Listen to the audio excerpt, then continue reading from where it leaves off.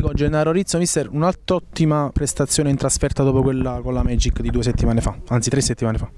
Sì, eh, una bella partita, giocata con molta tattica, faccio i complimenti a Marco per, per, per la squadra, per, l'accoglienza, sono tutti amici, è stata una, una, bella giornata, abbiamo lavorato duro in, questa, in questo periodo di sosta e venivamo dalla sconfitta in casa secondo me immeritata con il Saviano e avevamo voglia di riscatto e così è stato.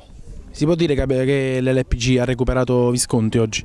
Eh sì, dopo un, un periodo diciamo, di, di appannamento oggi è ritornato il Visconti che conosciamo, ma diciamo, è sempre stato eh, partecipe a tutti gli allenamenti, a tutte le partite, mancava un po' di brillantezza, a volte eh, eh, la vita anche personale influisce, magari ha lavorato un po' di più, magari era un po' più stanco, però ha lavorato in questo periodo, ha lavorato bene, si è ripreso e sono felice sia per lui sia per il risultato acquisito. Tra sette giorni arriva il Club Paradiso Cerra, che gara ti aspetti e, che, e soprattutto anche spegni due parole per Giovanni Abbato?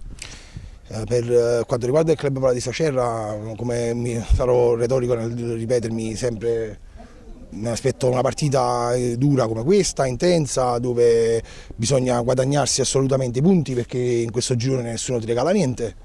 Quindi lavoreremo in settimana per preparare un'altra partita e per cercare di portare a casa i tre punti. Per quanto riguarda Giovanni Abate, Gianni per me, lo, qualcuno mi accusa di, di, avere un pupillo nella squadra, nella società, per me Gianni è un fratello minore, eh, oggi o domani che finirò di allenare o che eh, Gianni non giocherà più resterà tale, è un ragazzo che ha bisogno eh, un po' più degli altri di avere qualcuno accanto che lo aiuti, che lo, che lo guidi e che lo faccia capire che bisogna andare avanti perché già ne ha avuto veramente un problema diciamo, grosso.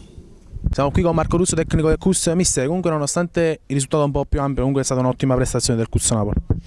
Ma sì, fino al 2-2 siamo stati in, in, gioco, penso che abbiamo retto l'urto del, dell'LPG ai quali vanno i miei, i miei complimenti sia a Gennaro Rizzi che a tutti i giocatori perché hanno fatto veramente un'ottima un partita e i miei fino al 2-2 non sono stati da meno. Eh, calo, un po' di calo fisico, c'erano de, degli indisponibili tra cui Ciscognetti, Sapio, però non ci dobbiamo nascondere diciamo, da queste assenze. Complimenti tanto di cappello a chi ha meritato di vincere questa partita. È influito l'infortunio di Lauro a fine secondo me perché la partita sul 2-2 Lauro aveva giocato benissimo, si è infortunato, per la squadra sembrava che negli ultimi 10 minuti avesse staccato un po' la spina.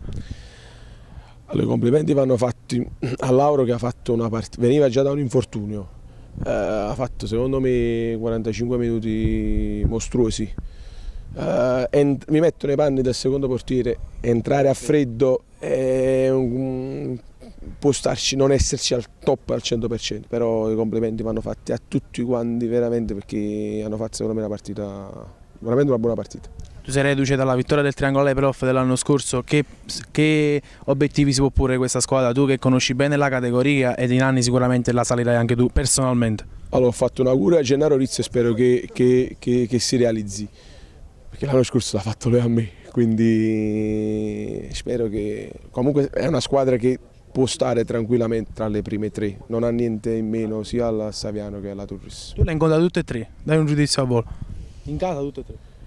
Uh, la Turris ha cinque elementi già pronti per la C1. L'LPG ne ha sei o sette, secondo me che ancora devono andare in rodaggio il Saviano è dipendente da due o tre persone, però sono tutti e tre, la C2, il girone B ci riserva 100.000 sorprese, secondo me se la giocano tutti e tre alla pari.